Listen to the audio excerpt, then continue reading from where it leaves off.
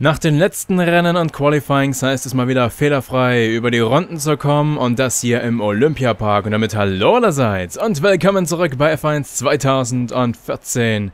Wir befinden uns im Qualifying und das Spiel hat mir gerade gesagt, vorgerechnet, Mercedes Grand Prix könnte an diesem Rennwochenende schon den Konstrukteurstitel klar machen. Soweit dazu. Wir müssen uns eigentlich sputen, aber ich zeige euch erst einmal das Wetter. Da seht ihr es Rennen, 85% Regen und deswegen meine Entscheidung für das Setup auf Regen zu gehen, nur damit ihr das einfach mal versteht. Und wir sollten uns eigentlich sputen, denn wir haben, wie gesagt, nur 15 Minuten Zeit. Dann steht die Startaufstellung mal wieder und dann heißt es also raus hier. Wir fahren auch raus. Ja, wieder ein klein wenig Hektik, könnte man sagen. Aber wir haben ja eben nur begrenzt Zeit. Von daher, ja, mal schauen, ob Mercedes an diesem Rennwochenende wirklich Weltmeister werden kann. Als Team. Aber wir konzentrieren uns sowieso auf unsere eigene Weltmeisterschaft im Kampf gegen Alonso und gegen Williams bei den Konstrukteuren. Da müssen wir einfach mal schauen, wie wir da so zurechtkommen. Ja, wieder hier in Russland, in Sochi unterwegs. Das hat ja beim ersten Mal ziemlich gut geklappt. Die Strecke an sich oder das Rennen war ziemlich öde in echt, aber zum Fahren macht das Ganze hier schon Spaß. Da bin ich mal gespannt, wie ich jetzt mit dem trocken, äh, mit dem nassen Setup hier bei trockenen Bedingungen zurechtkomme. Wir haben also die Option, die Soften und dann Medium die Primes als Reifen nochmal. Kleine Reifenkunde am Rande. Ich gucke gerade mal auf die Karte. Hm, nach vorne haben wir genug Platz, deswegen möchte ich die hier nicht vorbeilassen. Da werde ich einfach mal zusehen, dass ich hier meine Position halte. Und unser Ziel ist Elfter oder eben besser. Ja, das Rennen in Suzuka war ja mal wieder ganz besonders und ich habe mir auch kleine Fahrfehler geleistet. Das habe ich ja am Ende nochmal erzählt. Es wird mal wieder Zeit für ein sauberes Rennwochenende oder zumindest ein sauberes Rennen.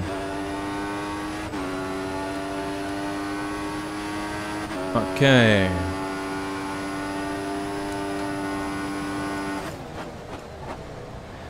Eigentlich wollte ich mal zusätzlich hier eine Runde auf Fett fahre. Hm, weiß ich gerade gar nicht, ob ich das irgendwie mal machen sollte. Ich werde erstmal so eine Runde fahren und wenn ich sehe, ja, die klappt nicht, dann fahre ich nochmal mit diesem Reifensatz eine Runde auf Fett. Und dann müssen wir sowieso noch ein zweites Mal raus. Ich werde auf jeden Fall auf der Geraden auf Fett schalten. Nämlich jetzt. Button und Alonso, die stehen beide noch in der Box. Da kommt jemand raus, aber der wird hinter uns sein.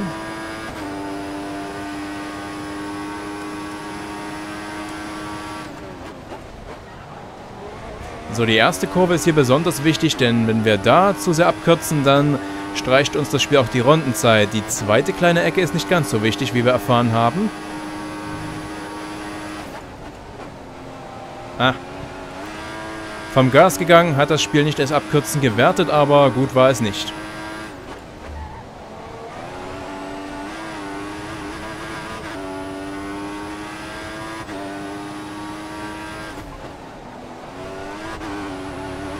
Fährt sich auf jeden Fall ganz schön rund hier. Also gut. Das Auto mit viel Abtrieb liegt ja auch gerade ganz gut bei den trockenen Bedingungen.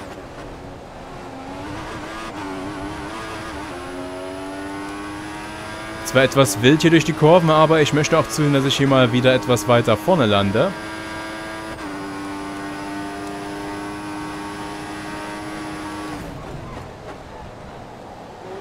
Reifen kühlen wieder ab.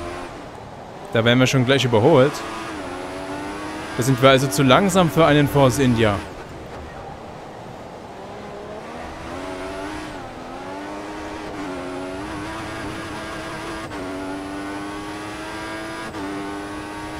Ah, Kurve verpasst. Mist.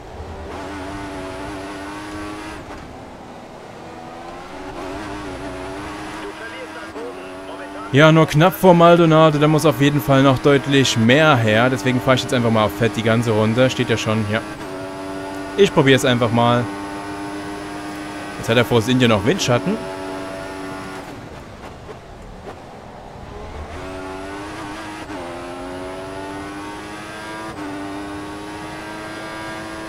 Jetzt lässt er aber abreißen.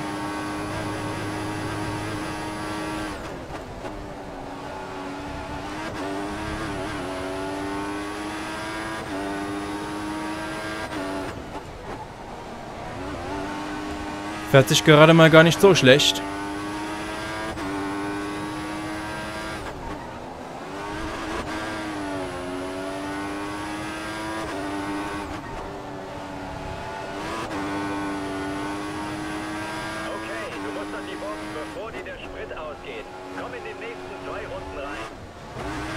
Los, weiter Gas geben. Wir haben hier keine Zeit zu verlieren, auch wenn wir in der Auslaufzone waren.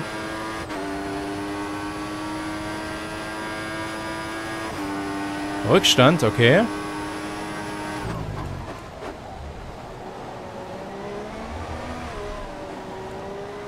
Oh, hier wird das Auto richtig unruhig auf Fett.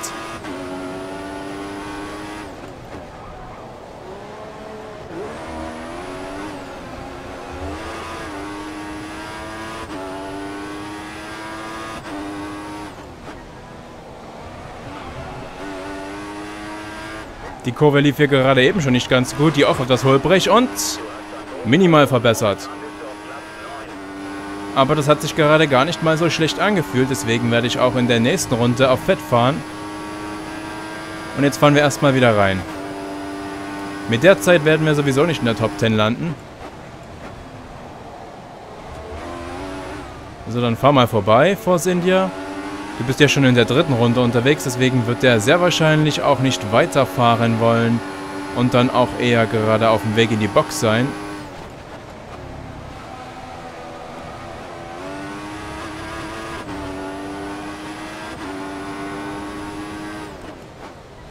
Ja, man hat schon gemerkt in der Runde gerade eben, da hat es wieder an so ein paar Stellen etwas gehakt.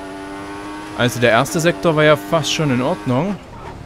Beim zweiten hat man gesehen, vor allen Dingen in der übernächsten Kurve, da hat es mich etwas weiter rausgetragen, deswegen konnte ich den Schwung auf die lange Gerade nicht so wirklich mitnehmen. Nämlich genau hier. Da habe ich auf jeden Fall noch was gut zu machen. Und dann eben die zweite Kurve nach dieser langen Geraden hier. Die war auch ziemlich brenzlig, aber das liegt, glaube ich, allgemein an der Streckencharakteristik. Das sehen wir gleich nochmal, nämlich hier. Das hat soweit ganz gut geklappt, aber hier raus zu beschleunigen und dann umzusetzen in die nächste Kurve, da kam auch der Force India richtig nah. Und dann ja, die letzten Kurven hier habe ich auch noch ziemlich holprig gefahren. Da ist auf jeden Fall noch Luft drin und eben die Zeit, die wir hier brauchen. Wir sehen erstmal zu, dass wir wieder an die Box fahren. Ich glaube, nein, der fährt weiter hinter uns. Nun gut, wir wissen auf jeden Fall, wo in etwa noch Zeit zu holen ist und da können wir ja auf jeden Fall ansetzen.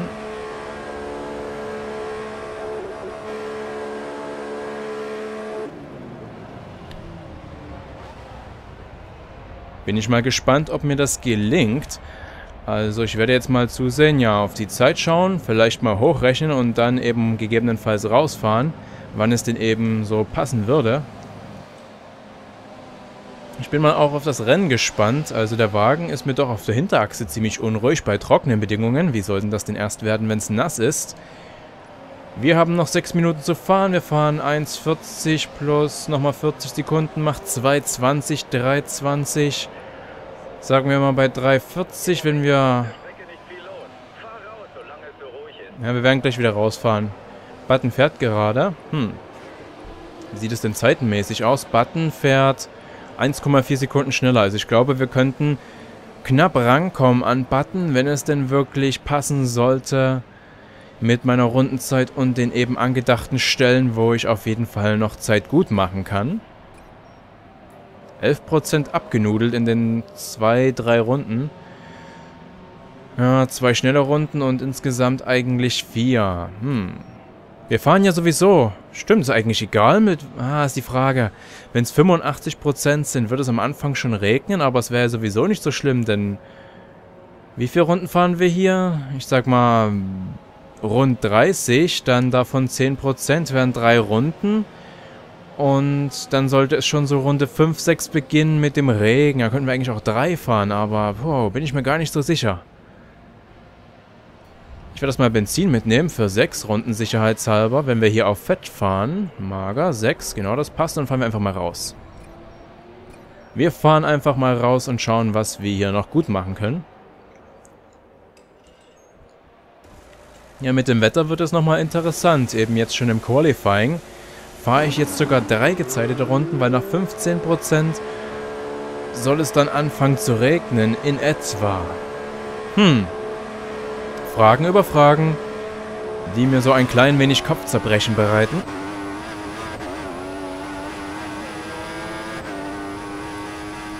Da ist gerade jemand. Ist der in der Box? Kommt er mit uns aus der Box oder ist er auf einer schnellen Runde? Habe ich jetzt gar nicht so richtig geschnallt. Ich lasse ihn einfach mal vorbei. Sicherheitshalber, dann passt das schon.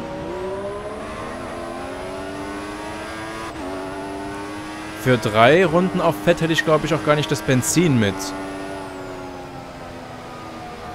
Hm. Ich fahre mal weiter auf Fett, weil das hat sich gar nicht so schlecht angefühlt. Früher war das kein Problem bei F1 2013, aber hier komme ich damit noch nicht so wirklich klar. Das ist so mein kleines Manko noch. Nach vorne etwas Abstand lassen, nach hinten nicht zu viel, also nicht zu viel trödeln. Platz 14 ist mir auf jeden Fall zu wenig. Das ist ja dann wie in Suzuka. In Singapur, ja, da hatten wir einen Crash gebaut. In Monza waren wir ziemlich weit vorne genauso. Ja, in Spa. Das waren noch andere Welten, so die beiden Strecken, die immer auch wirklich liegen. Suzuka, ja, war es dann irgendwie wieder überraschend schwierig mit der KI. Ja, Schwankungen. Ah, ich werde mich erstmal hier auf das Qualifying konzentrieren, denn das ist jetzt erst einmal das Wichtigste.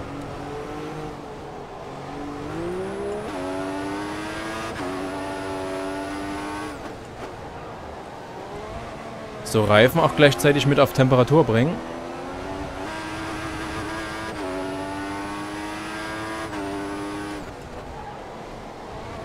Ja, so könnte es klappen.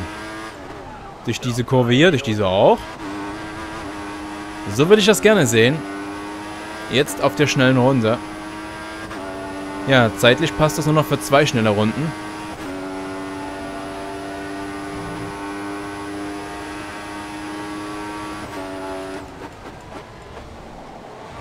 So, hier nicht zu stark abkürzen, ansonsten war es das schon wieder. Jetzt bin ich gerade mal kurz gegen das Mikrofon gekommen. Weiß nicht, ob man das gehört hat.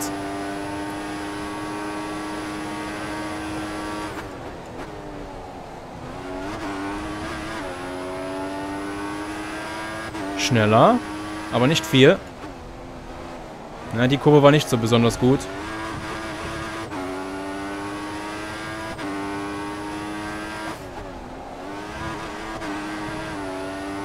Die vielleicht schon etwas besser.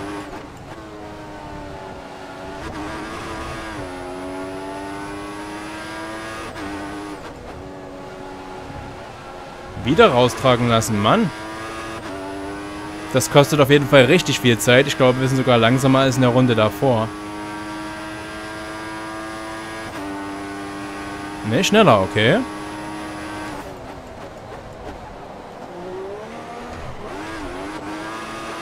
Oh, Auto.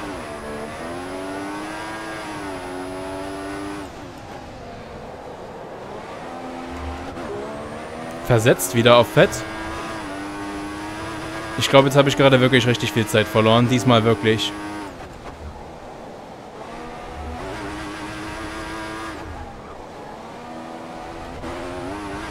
Ja, 5000 langsamer. Alonso ist Fünfter. Jetzt darauf kommt es an. Letzte Runde im Qualifying.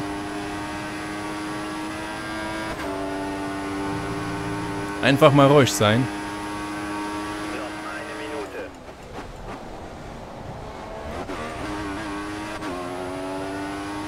Etwas mit den Gängen hier gespielt.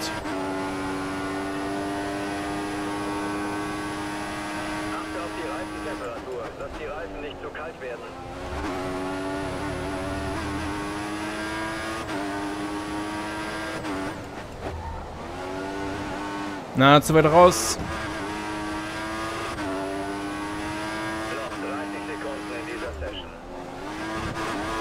Oh, ganz schön drüber gerumpelt.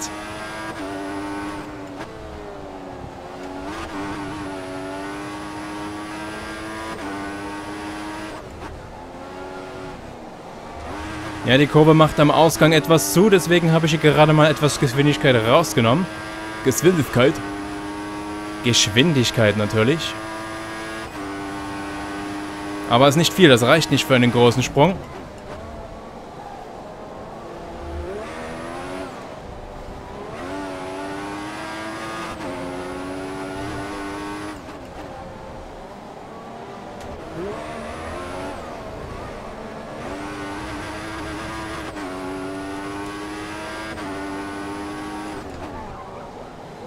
Na, Untersteuern habe ich jetzt verspürt, ist ungünstig. Das wird nichts Großes.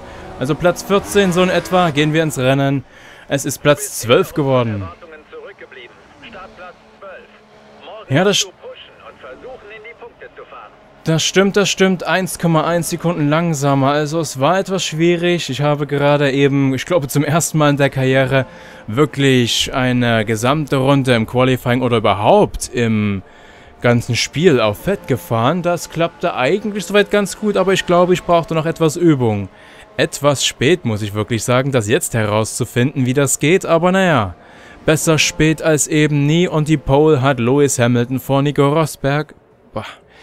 Dann kommt Sebastian Vettel, Jen Ricciardo, Alonso Hülkenberg, Alonso also auf 5, Button kommt dann auf 7, Massa Bottas und Räikkönen. Die beiden Finnen, ihr kennt das ganze Spiel ja schon, die gehören einfach zusammen. Perez, dann kommen eben wir, aber Platz 12 ist auf jeden Fall besser als in Suzuka. Unsere Ausgangsposition für das Rennen, Quert, Vern, Sotir, Grosjean, keine Überraschung da hinten nehme ich an. Genau.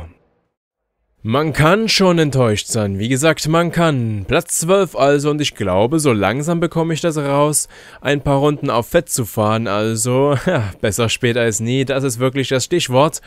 Es kommt auch immer auf die Strecke drauf an oder auf die jeweiligen Kurven. Langgezogene, schnelle Kurven sind dann eher schwieriger auf Fett zu fahren und dann eben hier passt es schon eher. Aber mal schauen, ich werde mich mal weiter darin üben. Also eine kleine Aufgabe, wenn es auch sehr spät in diesem Let's Play oder allgemein mit diesem Spiel ist und morgen, ho, mit dem Regen, das kann ungemütlich werden, aber wir schauen einfach mal, wie das Ganze wird. Also, bis dahin, macht's gut und ciao, tschüss.